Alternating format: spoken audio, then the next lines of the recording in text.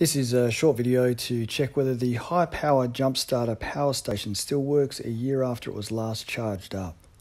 Now, my car has been sitting idle for most of the time and the battery is flat again, so it's the perfect time to test whether the power station still works.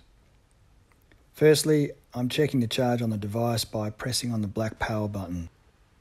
It shows 3 out of 4 LED lights, so it's lost some charge.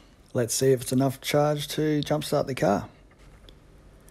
I should have watched my original instructional video before doing this because I should have attached the red and black terminals first and then plugged them into the power device, but I managed to get them on safely. Now the power has been sent from the device to the car, so we should be able to start it up. The beeping sound and the display lights are a good indication that we're getting power, so let's try turning the key. Okay, it's working again. Geez, that turned over very easily. But the most important thing is, is it didn't need four LED lights worth of charge to start it up. So based on these findings, I have to say this is a very handy device that still works after storing it for a year without charging.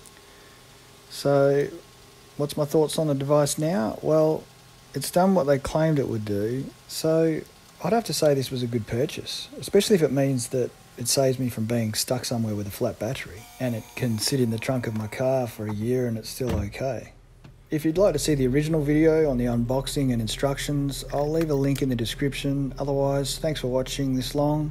I hope the video helps. If it does, please like and subscribe and help my little channel out.